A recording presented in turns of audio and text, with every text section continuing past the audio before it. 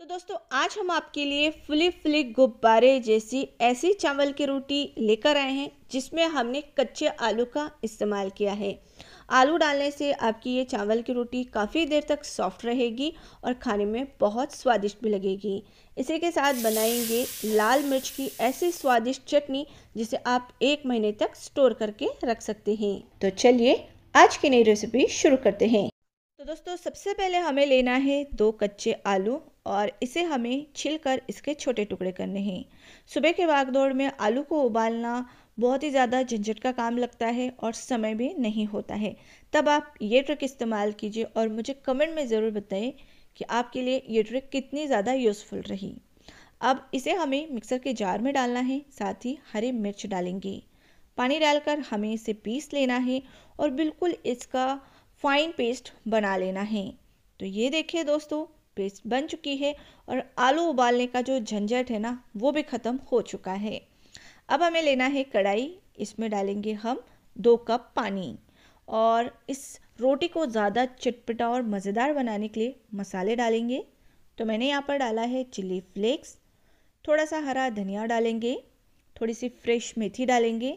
मेथी से इसका टेस्ट और भी ज़्यादा बढ़ जाता है और मैंने थोड़े से करी पत्ता फाइन चॉप करके डाला है।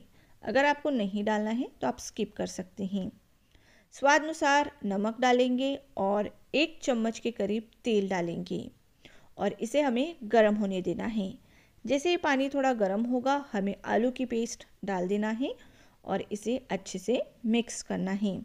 दोस्तों, जैसे ही इसमें उबाल आएगा तो ये जो आलू की पेस्ट है ना, फटाफट से पक जाएगी और हमारा घंटों का काम मिनटों में हो जाएगा।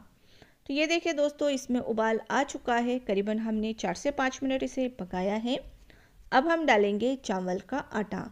तो मैंने यहाँ पर टू एंड हाफ़ कप मतलब ढाई कप चावल का आटा लिया है और इसे हमें अच्छे से मिक्स करना है।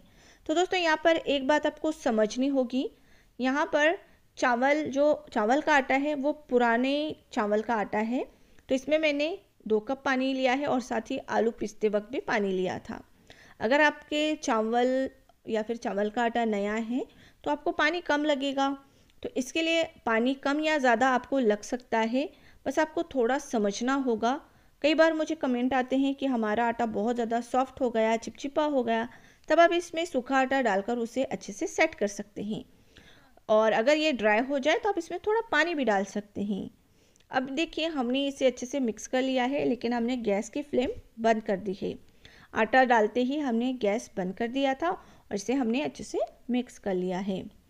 अब जैसे ये मिक्स हो जाएगा, हमें इसे ढककर रखना है। इसी के स्टीम में इस आटे को छोड़ देंगे ताकि ये अच्छे से पक जाए और तब तक हम चटनी बनाएँगे। तो यहाँ पर मैंने फ्रेश रेड चिलीज़ ली है। इसमें मैंने थोड़ी सी ड्राई चिली भी डाली है मतलब लाल मिर्च डाली है, सूखी वाली।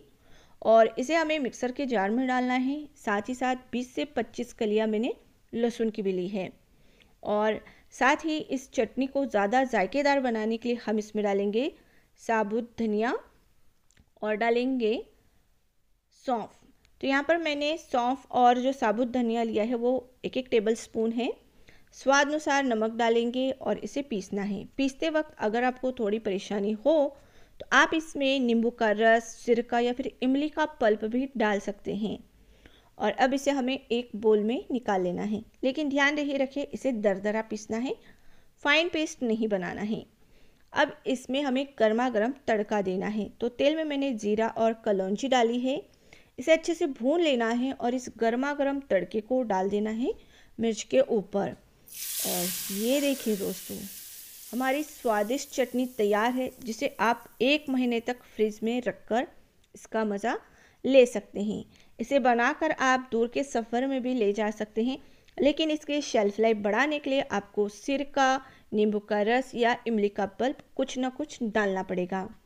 तो यह हमारी चटनी तैयार है, इसे आप किसी एयर टाइट कंटेनर में डालिए और इसका मज़ा लीजिए। तो कैसे लगी आज की ये चटनी की रेसिपी ज़रूर हमें बताइएगा, लेकिन हाँ ट्राई करना मत भूलिएगा। चलिए दोस्तों, चटनी हमारी बनकर तैयार हो चुकी है। अब हम आटे को देख लेते हैं। तो ये देखिए दोस्तों, आटे ने मतलब इसी के स्टीम में आटा पक चुका है, लेकिन ये थोड़ा गर्म भी है, अच्छे से ये ठंडा नहीं हुआ है। जब ये हल्का गर्म हो, तभी आपको इसे मलना है, तभी आप अच्छे से इसे मल पाएँगे। तो यहाँ पर इसे आपको नीड करने में करीबन सात से आठ मिनट लग सकते हैं, लेकिन आपके पास फ़ूड प्रोसेसर है तो आप उसमें डालकर इसे एक से दो मिनट के लिए चलाएँगे। तो अच्छे से इसका आटा लग जाएगा। लेकिन हर घर में फ़ूड प्रोसेसर तो होता नहीं है। तो हाथों से आपको अच्छे से मलना है। इसके ऊपर तेल लगाना है और अच्छे से इसे मिक्स करना है। ताकि जो आटा है, उसमें बिल्कुल भी क्रैक्स ना रहे और एकदम स्मूथ आटा लगकर तैयार हो। अगर आप अच्छे से मेहनत करेंगे और अच्छे से आटा लगाएँगे तो आपकी रोटी बिल्कुल फुली फुली बनेगी। तो चलिए आटा लग चुका है, इसमें से हमें एक पेड़ा लेना है और इसके ऊपर सूखा चावल का आटा लगाकर हमें इसे बेलना है। तो दोस्तों, बहुत सारे लोग कहते हैं कि हमारे जो चावल की रोटी है ना, बनाते वक्त टूट जाती है, वो क्रैक हो जाती है। लेकिन आप देख सकते हैं, मैं कितने आसानी से इसे बेल रही हूँ। ना तो ये टूट रही है और ना ही इसमें कोई क्रैक्स आए हैं। जितना चाहे आप अलट पलट कर लो, बहुत ही अच्छे से ये बनेगी। एक साथ मैंने पाँच से छः रोटी बनाकर रख ली है और अब मैं आपको इसे सेक कर दिखाऊँगी। तो जो हमने थोड़ी मेहनत की है ना दोस्तों, उससे हमारी चावल की रोटी फुली फुली तो बनेगी ही, लेकिन बहुत देर तक सॉफ्ट भी रहेगी। ये देखिए दोस्तों, गुब्बारे की तरह फुली है ना। बहुत सारे लोग मुझे कहते हैं कि चावल की रोटी ऐसे फुलना इम्पॉसिबल है। लेकिन उसे पॉसिबल बनाना हमारा काम है। तो आप भी ये रेसिपी को ट्राई कीजिए, पक्का आपको बहुत पसंद आएगी और ये रोटी कई देर तक सॉफ्ट रहती है और खाने में बहुत स्वादिष्ट भी लगती है। अगर इस रोटी को आप डायरेक्ट गैस पर भी सेकेंगे फुल्की की तरह, तब भी ये इसी तरीके से फुली फुली बनेगी। ये मेरी गारंटी तो कैसे लगी आज की ये नई ट्रिक मुझे कमेंट करके ज़रूर बताना दोस्तों, आपके कमेंट का हमें बेसब्री से इंतज़ार रहता है। हमें बड़ा अच्छा लगता है जब आप हमें प्यारे प्यारे कमेंट करते हैं। तो ये देखें दोस्तों, रोटी कितनी सॉफ्ट है, ये भी देख लीजिए। और इतनी मज़ेदार रोटी खाने में अगर गर्मा गर्म मिल जाए तो इसका तो मज़ा ही अलग होता है। बहुत अच्छी बनती है और आलू का टेस्ट इसमें बहुत अच्छा आता है। तो ये देखिए दोस्तों, है ना, बहुत ही मज़ेदार। इस रोटी को इस चटनी के साथ ज़रूर बनाइएगा और इसे आप दूर के सफ़र में भी ले जाएँगे ना तो सफ़र का मज़ा भी दुगना हो जाएगा, क्योंकि ये रोटी काफ़ी देर तक सॉफ्ट ही रहती है। तो दोस्तों, आई होप आज की रेसिपी आपको बहुत पसंद आई होगी तो इसे घर पर ट्राई ज़रूर कीजिएगा और मुझे पक्का ज़रूर बताइएगा कि आपको इसका स्वाद कैसा लगा। और आपसे ये रोटी फुली या नहीं फुली। तो मिलते हैं अगली नई वीडियो में। तब तक के लिए बाय दोस्तों।